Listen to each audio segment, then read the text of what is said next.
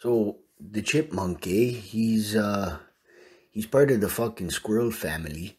Let's just call this guy Alvin. Cause from the cartoon, you know? It's a joke, eh?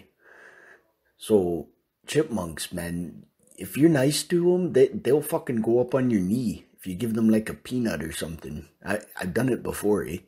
So this guy, he's he's eating uh some sort of nut vegetation off the fucking rock, eh? Look at his tiny hands, eh? He's just going down on those. Holy fuck, bud.